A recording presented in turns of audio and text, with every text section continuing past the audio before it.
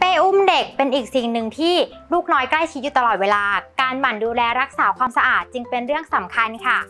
เพียงดูคลิปนี้ก็สามารถถอดซักทำความสะอาดได้ด้วยตัวเองที่บ้านแล้ว เดี๋ยวเราไปดูกันเลยว่ามีวิธีอะไรกันบ้างนะคะ วิธีถอดซักเป้อุ้มแบบฮิปซีดนะคะ ขั้นตอนแรกค่ะ ถอดผ้าซับน้ำลายออกทั้ง 3 ด้านค่ะ ตรงสายสะพายเป้อุ้มนะคะ จะมีกระดุมแบบนี้ค่ะ ก็สามารถปลดออกได้เลย ปลดออกทั้งสองด้านเลยนะคะ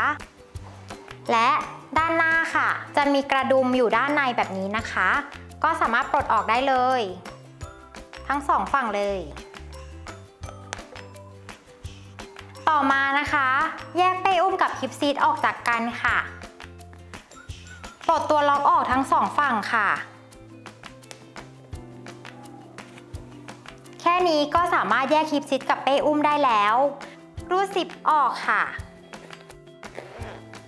จะมีโฟมอยู่ด้านใน ไม่แนะนำให้ล้างนะคะ ควรใช้ผ้าชุบน้ำทำความสะอาดก็พอ ขั้นตอนต่อมานะคะ รูดซิปปิดค่ะ และติดตัวล็อกให้เรียบร้อย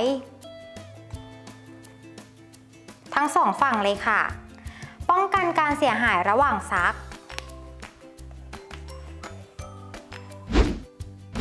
สำหรับเป้อุ้มเด็ก Haenim nine plus ที่เป็นทั้งแบบกิฟซีและแบบนิวบอ r ซัพพอร์ตก็สามารถซักทำความสะอาดแบบเดียวกันได้ค่ะ วิธีทำความสะอาดค่ะ แนะนำให้ซักมือเพื่อยืดอายุการใช้งาน แต่ถ้าคุณพ่อคุณแม่คนไหนไม่ไม่สะดวกซักมือ ก็สามารถลงเครื่องได้ค่ะ แต่ควรใส่ถุงถนอมผ้า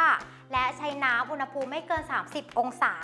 ไม่ควรอบแห้งหรือปั่นแห้ง และไม่ควรใส่น้ำยาปรับผ้านุ่มค่ะ พอซักเรียบร้อยแล้ว แนะนำให้ผึ่งลมค่ะ จนแห้งเลย ไม่แนะนำว่าให้ผึ่งแดดหรือว่านำมารีดค่ะ